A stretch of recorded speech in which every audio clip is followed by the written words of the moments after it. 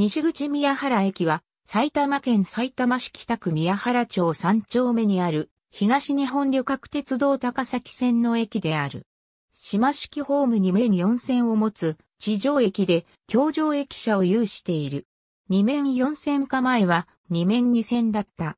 JR 東日本ステーションサービスが運営する業務委託駅で、上尾駅が当駅を管理している。指定席券売機、自動改札機が設置されている。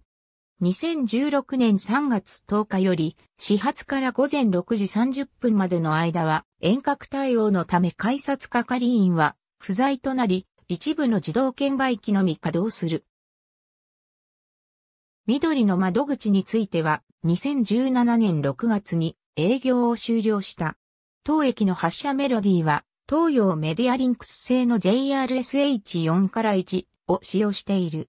2020年度の1日平均乗車人員は18,284人である。1987年度以降の1日平均乗車人員の推移は以下の通り。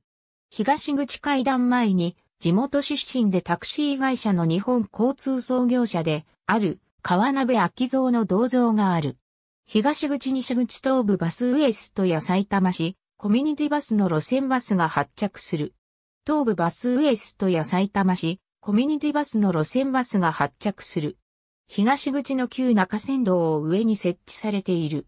国際工業バスや東部バスウエストの路線バスが発着する。宮原駅最寄りと案内されている。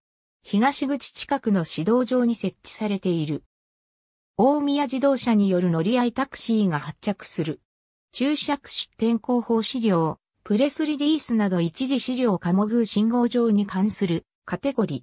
ありがとうございます。